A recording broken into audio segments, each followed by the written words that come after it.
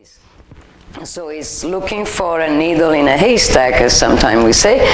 And as I already mentioned, we are looking for this rare, uh, or it, we're looking at this mystery of dark matter in, with these three uh, probes I already mentioned, so maybe I go faster here. We have the production of new particles at collider. We have the observation, let's say, of anti-particles uh, or uh, photons or neutrino from the annihilation of dark matter.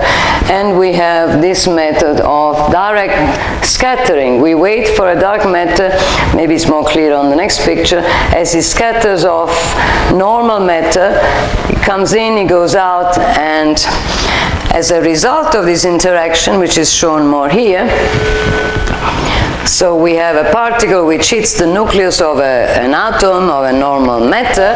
As this scattering occurs, what happens is that you you give some energy to this nucleus, this nucleus moves just a tiny bit, and it's the energy which is imparted to this nucleus that we are trying to measure. It's this tiny energy which the nucleus gets as, as a kick from this collision of a dark matter particle with it. This is our, this is what we're trying to measure to detect in a detector on Earth.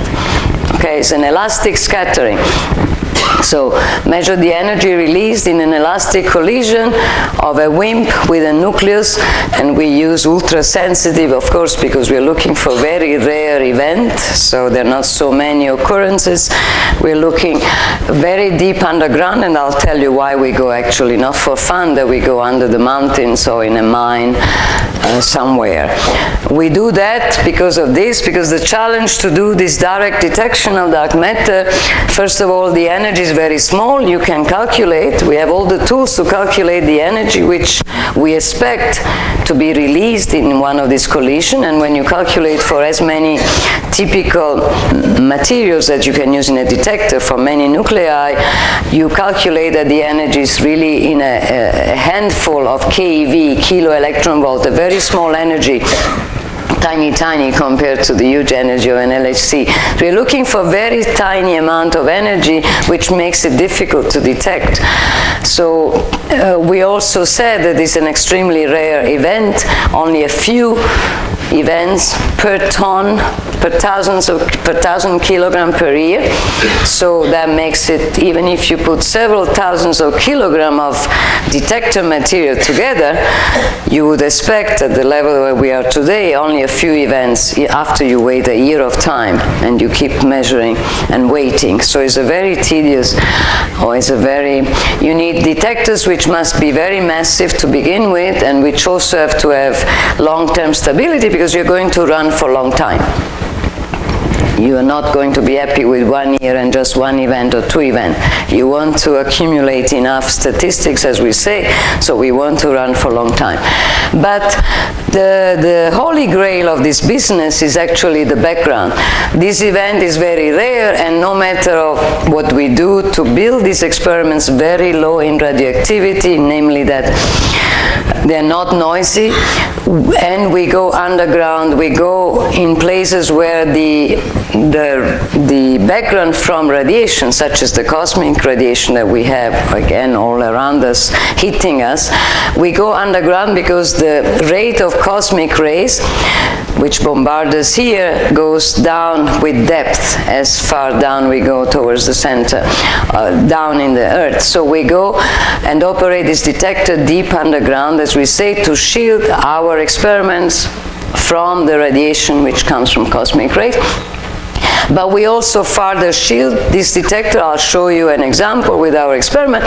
And our challenge, other than going underground and operate in these mines or in these underground laboratories, uh, is the main challenge that we have as physicists when we build a detector is to choose the lowest radioactivity materials that we can find.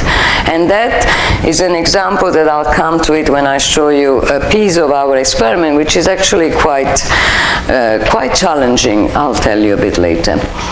And the last thing is that, of course, we want to have detectors, we want to be as inventive as possible to have detectors which can tell us more clearly a signal over a background. This is very important and I'll show you in the next picture, we are lucky in the sense that a WIMP or a particle dark matter will actually scatter more typically with the nucleons with the nucleus of an atom, right?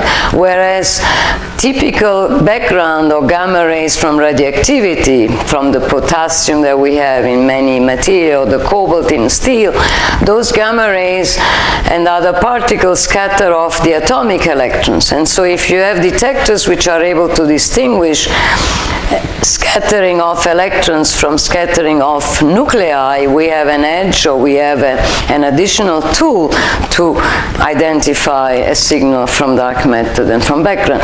And this is maybe too detailed, so around the world there are many technologies that people are using in this field of direct detection now I'm talking. But maybe the message you want to carry is that whenever a, a WIMP Whenever a particle interacts with, with normal matter, an atom here, uh, and scatters off, the, the, the outcome of this interaction is the production of typically ionization, the production of, of charge carriers, is the production of light, scintillation we say, and the vibration of the lattice of the crystals if you're using a crystal structure. So you have other, as we say in physics, we have other uh, heat, vibration of the lattice phonons, or you have charges, electrons, or you have gamma rays, scintillation photon.